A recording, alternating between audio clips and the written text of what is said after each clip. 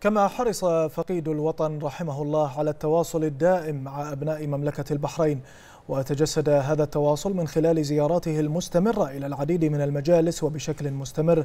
تأكيدا منه رحمه الله على النهج الراسخ لآل خليفة الكرام في التماس هموم المواطنين ومشاركتهم أحزانهم وأفراحهم. أقول يا هلا حييت شيخنا الغالي يا هلا حييت شيخنا الغالي زان مجلسنا وزاد اليوم أنواره. حرص دائم وقرب مشهود للشارع البحريني والتماس لهموم المواطنين ومشاركتهم أحزانهم وأفراحهم. نهج حرص عليه آل خليفة الكرام وحرص عليه فقيد الوطن رحمه الله. الأمير خليفة بن سلمان آل خليفة رحمه الله كان يقوم بالعديد من الزيارات إلى أبناء مملكة البحرين في مجالسهم. فعلى سبيل المثال لا الحصر فإن زيارات المجالس الرمضانية كانت عادة لدى فقيد الوطن رحمه الله إذ كان يؤكد بأن المجالس الرمضانية تمثل جانبا مضيئا في تراث مملكة البحرين التي يجب المحافظة عليها والعناية بها وترسيخ أهميتها وقيمتها. فقيد الوطن رحمه الله أعرب في زيارته لمجالس أبناء البحرين عن سعادته بترسيخ قيم التواصل الممتدة في تراثنا وعاداتنا الأصيلة والتي تهدف لتعزيز الروابط والتلاحم بين أبناء الشعب. وهو ما تجسد في زيارات فقيد الوطن وحرصه المستمر على الالتقاء بالمواطنين في مختلف الظروف والمناسبات.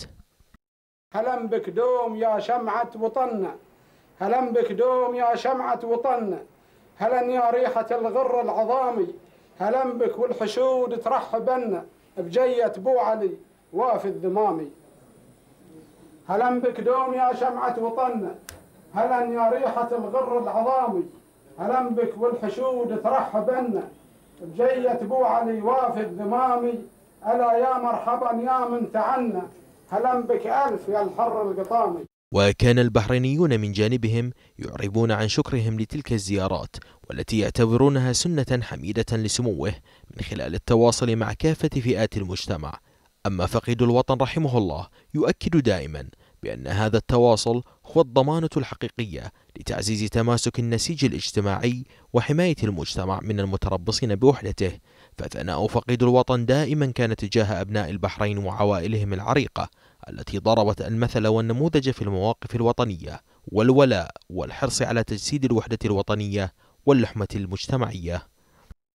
رحل الأمير خليفة بن سلمان رحمه الله. ولكن لم ولن يرحل ذكره عن أروقة مجالس أهل البحرين فزياراته وقربه من هموم المواطنين ونصائحه وإرشاداته سوف تبقى شعلة منيرة لتلك المجالس التي كانت تحتفي بفقيد الوطن وهو يحتفي بفخر بين أبناء البحرين الأوفياء. وختاما فإن الطيبين لا يرحلون بل يخلد ذكرهم الخير.